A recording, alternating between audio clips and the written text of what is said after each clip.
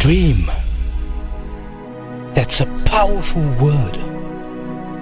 You'll get knocked down many times chasing your dreams.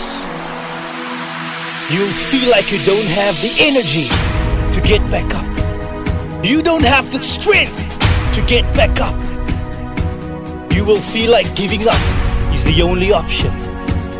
When you fall down, when you feel like there's no way out, that's when it's time. Time to hit back. I remember countless times I felt like a failure when everything just goes wrong and nothing works out. There were times when I worked really hard for something, sometimes months, and just as you think you've made a breakthrough, the door hits your face. It slams so hard into your face. Now, throughout the years, I've had many of those encounters. But in the end, my friend, in the end, failure is the stepping stone to ultimate success. Without failure, you don't grow. Every time you fail, that's when you learn.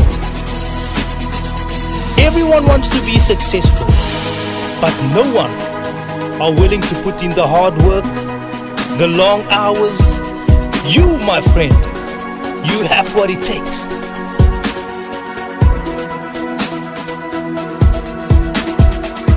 If you were unsuccessful with that job, with that interview, with buying that house, with that girlfriend, congratulations!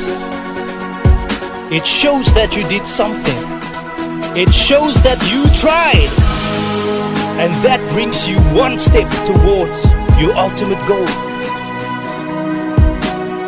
Sometimes the greatest joy isn't by being successful or by winning that gold medal. For me, the greatest joy is knowing that you did your best, knowing you gave your everything, even if you failed.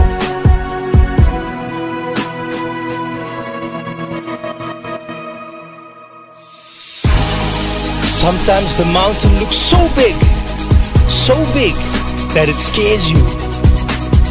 Most people will give up without even trying. Oftentimes we doubt ourselves, while so many are intimidated by your potential. Do whatever it takes. You gotta run one more lap. You gotta climb one more rock. Give it your all until you reach the top. Be unstoppable.